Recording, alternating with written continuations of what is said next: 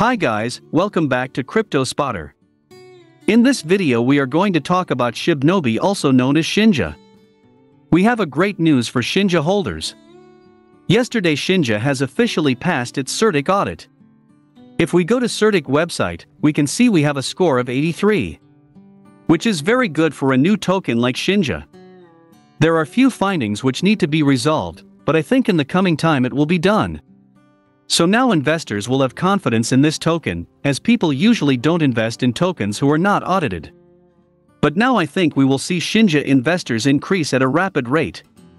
Coming to the burn news, yes the dev has decided to burn huge number of tokens. If you see this tweet it says, they will be burning 1 sextillion tokens at 50,000 Shinja holders.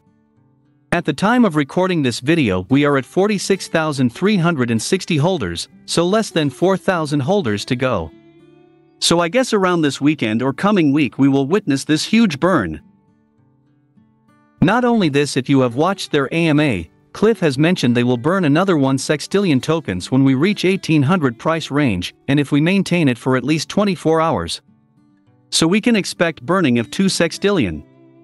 This thing will give boost to the price, Tomorrow 19th of Jan could be a game changer for Shibnobi, as Shinja is going to be listed on Bitmart Exchange, so we might see a price increase there. Usually when a token gets listed on exchange we usually see 30 to 60% spike. It could be more or less that we will have to see tomorrow.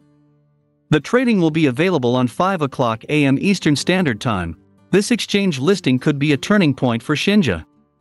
So let's hope for the best, fingers crossed.